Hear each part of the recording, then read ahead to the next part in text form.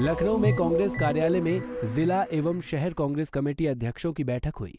इस बैठक में राज बब्बर ने कांग्रेस पार्टी को मज़बूत करने के लिए चर्चा की।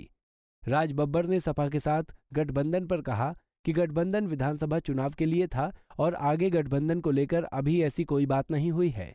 जहाँ तक सवाल है कि गठबंधन का, वो पिछला गठबंधन जो है, वो विधानसभा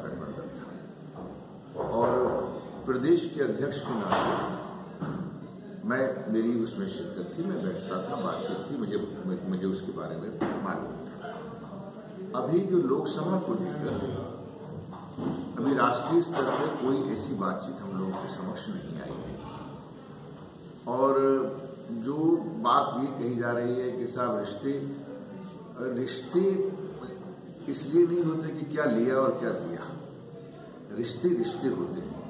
रिश्ते निभाए जाते हैं। और मुझे मालूम है कि राहुल जी, अखिलेश जी दोनों राष्ट्रीय अध्यक्ष हैं। मैं उसमें कोई टिप्पणी नहीं कर सकता और उनके रिश्तों के बारे में जहाँ तक मुझे पता है कि बहुत ही सौहार्दपूर्ण है राज बब्बर ने साथ ही बीजेपी पर निशाना साधते हुए कहा कि सरकार बने हुए नौ महीने हो गए हैं, लेकिन सरकार कभी महोत्सव मनाती है तो कभी रंग पोतती है। पंजाब केसरी टीवी के लिए लखनऊ से अनिल सैनी की रिपोर्ट।